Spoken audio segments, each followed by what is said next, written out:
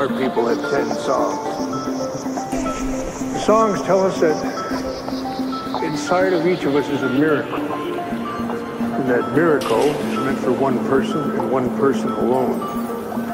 And when we're close, the universe reaches down and helps us fulfill our destiny.